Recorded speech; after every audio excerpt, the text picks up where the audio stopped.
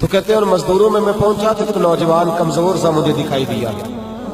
मैं उसके पास, उसके चेहरे पर ना तकवे का नूर था, पेशानी पर इबादत का सुरूर था। तो मैंने कहा बेटे, मजदूरी करोगे? कहने लगा, करूँगा, लेकिन मेरी कुछ शर्तें हैं। तो मैंने मुस्कुरा के कहा, मैंने कहा, बेटे, मालकों की शर्तें होती हैं कि मजदूरों की होती है? कहने लगा, मैं जरा अनोखा मजदूर हूँ, मेरी शर्तें कहा, कौन सी? कहने लगा, लोग चार दिन और मजदूरी लेते हैं, मैं तीन लूँगा। कहते मैंने कहा, ये तो बड़ी अच्छी शर्त है, बाकी की भी इस तरह की रख ले। चार लेते हैं, मैं तीन लूँगा। और दूसरी शर्त क्या है? कहने लगे, जो आप काम कहेंगे दिल जमी से करूँगा, लेकिन जब आजान हो जाएगी तो मैं जहाँ काम होगा, वहीं छोड़ दूँगा। मैं फिर आगे नहीं बढ़ूँगा। तीसरी शर्त मेरी ये है कि मैं काम करूँगा, आपके किसी सवाल का जवाब नहीं दूँगा।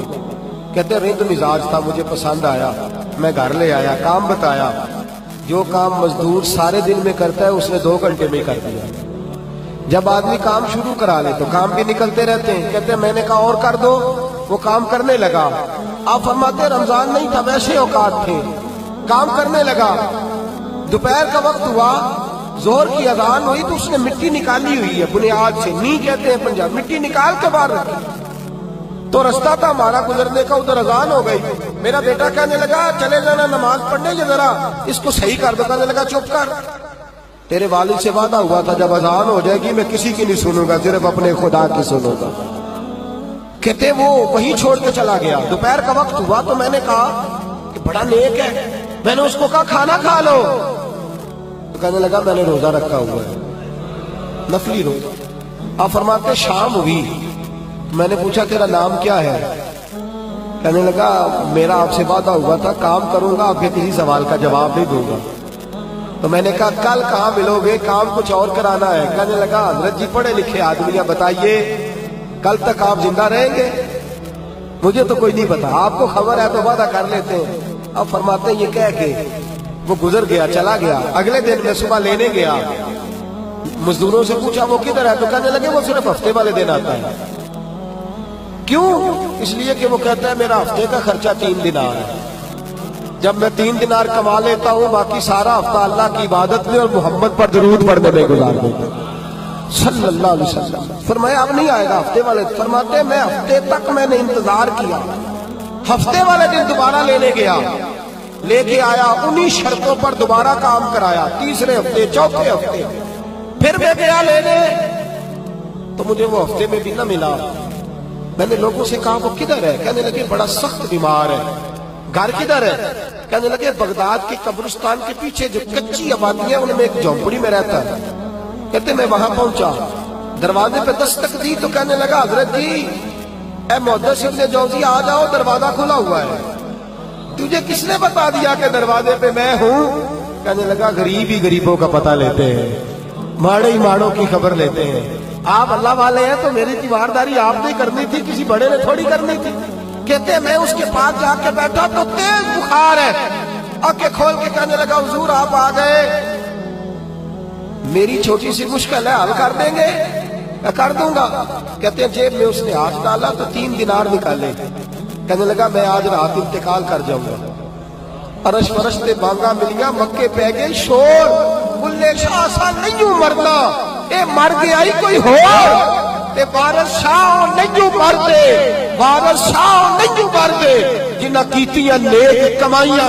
इकबाल कहते मौत को समझे हैं। गाफिल इख्तता में ज़िंदगी, अरे ये है शाम में ज़िंदगी, फिर सुबह में ज़िंदगी। कहने लगा, पैसे रख लो, मैं मर जाऊँगा रात को। ये पैसे ले लो कल आना, जब दिन का उजाला हो जाए तो मेरे इन पैसों से कफन दफन का बंदोबस्त कर देना। और इस कब्रिस्तान में कब्र खोद के मुझे दफन कर देना किसे दे कुछ नहीं जे लग दे ते ना कोई साडा दर्दी या दफन कर देना। कहते फिर दूसरी जेब में हाथ डाला और कहने लगा, ये अंगूठी या हीरे की। मुझे जब आप दफन कर ले ज़ोर से पहले तो असर के बाद हारून रशीद बादशाह निकलता है, सैर कर दे उसे आवाज़ देना, आपकी बात नहीं सुनेगा, कहना, तेरी एक अमानत है। वो फिर आपको बुलाएगा तो अंगूठी उसे देना? और फिर आप बस ये दो मेरे काम कर दे, अल्लाह आपको जजा देगा। फिर आप मेरी तरफ़ से जजा के मुस्तक हैं, अल्लाह आपको देगा। कहते हैं, मैंने कोई और बात करनी चाहिए? तो उस जवान ने हाथ बाँध लिए। कहने लगा, हजूर, वक्त थोड़ा रह गया है। रात जाना है। मुझे अपने रब से तन्हाई करने दे। गुनाह लंबे चौड़े हैं, माफ़ी मांगने दे। फहरिस्त बड़ी है। मेरे पास टाइम थोड़ा है। मैं बदकार पुराना खातम। मैनू किसे दर मिली? नहीं ढोई। यार ने नज़र जो की मुझे पता है। पता सारा है सरदार पाया ही तेरा भला फरमाया, आप जाइए। फरमाते, हज़रत सिंह ने मैं उठ के आ गया। लोग सो गए। वो भी सो गया होगा, पर मुझे सारी रात नींद नहीं आई। उसके जुमले मुझे सताते रहे। रात बड़ी मुश्किल से कटी। दिन का उजाला चमका। बड़ी मुश्किल से सूरज निकला तो मैं गया। दरवाजे पे हाथ रखा तो दरवाज़ा पहले ही खुल गया। खुशबुएँ दूर दूर तक मेरा इस्तेमाल करने लगी। कहते, चेहरे से कपड़ा हटाया। तो यूँ लगा, अभी अभी दीदार करके सोया है। अभी अभी किसी का चिर होया मैं तरले लेंदे आ। कदी मोड़ मेरे वल वागा खाब मेरी बिच एक बार जे आवे मैं सारी उम्र ना जागा। कहते, अभी अभी सोया है। मैंने दो तीन आदमी साथ लिए थे, गुसल दिया, कफन पहनाया।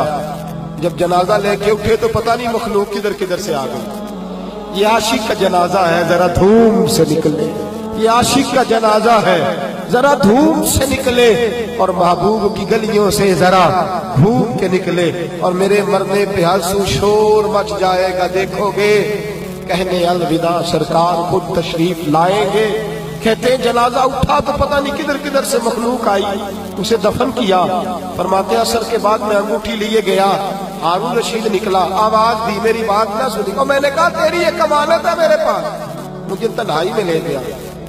जब मैंने अंगूठी दी तो चीखे मार के रोने लगा। कहने लगा, अंगूठी वाला किधर है? वो किधर गया, अंगूठी वाला? मैंने कहा, उसका तो इंतकाल हो गया। कहते, हारून रशीद, तड़पा। इतना रोया बादशाह के मुझसे संभला ना गया। वो कबर किधर है? मैं कबर पे ले गया तो कबर पे लेट गया। कबर चूमता, सर पे खाक डालता, रोता, तड़पता। जब जब तसल्ली हुई तो मैंने कहा, बादशाह, ना उसने कुछ बताया, ना तू बताता, मेरा कलेजा फट जाएगा, ये कौन था? ये मरने वाला कौन था? हारून रशीद कहने लगा, इबन जौजी ये मेरा बेटा था। ये मेरा लखते जिगर था। ये ये मेरा जिगर पारा था। ये टुकड़ा था मेरे वजूद का हिस्सा था। का तेरा बेटा और फकीर, सलाम उस पर के जिसने बेकसों की दस्तगीरी की, सलाम उस पर के जिसने बादशाही में फकीरी की। तो कहते, मेरा बेटा मुझे कहता था अब्बा जी जो कुछ आपने बना लिया, इसका जवाब कैसे दोगे? इतना कुछ इकट्ठा कर लिया है तो अल्लाह के हुजूर कैसे बात पुरुष होगी? किस तरह खड़े होगे? जितनी टांगे दराज कर ली है? जाती दफ़ा कैसे समेटोगे? दरवेशों के पास बैठता था, बहनोल नना के पास जाता था। ये ये बुज़ुर्गों की दाऊद ताई के पास जाता था, हाजिरी देता था। इसका दिल दुनिया से दूर हो गया था। जेड़े इश्क तेरे ने चूर कीते, तेरे नैना मस्त मखमूर कीते उन्हें दिल दुनिया तो दूर कीते, उन्हें भुल गया तेरा मेरा है मेरे अज़ीज़, ना इल्मा फसा सानू। कोई यार की गल सुना सानू। उथे इल्म का सिक्का नहीं चलता जिथे इश्क हुरा का डेरा है फरमाते, मुझे अक्सर कहता अब्बा जी छोड़ दो। मैं इसे तसल्ली देता बेटा, मैं जाऊँगा तो